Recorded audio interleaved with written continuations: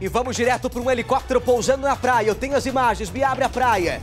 Aeronave autorizada, oficial da polícia, fazendo um resgate de um banhista, pousando ali, ó, em plena praia, muito movimentado e cheio. Uma baita de uma aeronave, gigantesca por sinal. Olha a curiosidade de turistas que foram se juntando para acompanhar o resgate a um banhista. É, a vítima era um turista, estava passeando nessa praia. Ele tem aproximadamente 50 anos. Ele que corre risco de ficar tetraplégico. Sabe por quê? Ele foi saltado alto de uma pedra e agora corre o risco de ficar tetraplégico. Ele queria mergulhar, mas escolheu um ponto em que a água é rasa. E aí ele bateu forte a cabeça direto no chão.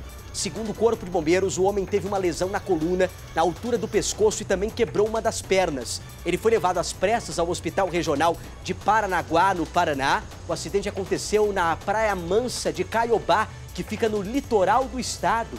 Terrível. Você sabe de uma coisa? A gente mostrou, né, é, ainda ano passado, um cara também, que tocaram na, na festinha que ele tava, de virada de ano, é, tocaram aquela música Pulei na Piscina, do Guilherme Benuto. E aí ele, né, em homenagem à música, foi lá e pulou na piscina da própria casa que estava. Bateu com a cabeça. Assim que ele mergulhou, ele já lá ficou boiando.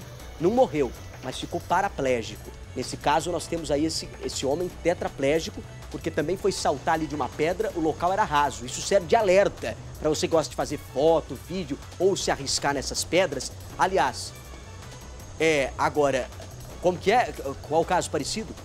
Marcelo Rubens Paiva foi também uma, uma história semelhante também, pulando de uma cascata e batendo a cabeça na pedra. Então serve de alerta aí para você tomar muito cuidado. Aliás, só de você subir às vezes nessas pedras aí já é um perigo danado, porque às vezes você vai fazer uma selfie em cima da pedra, já vem a onda, a onda bate e já te leva, né?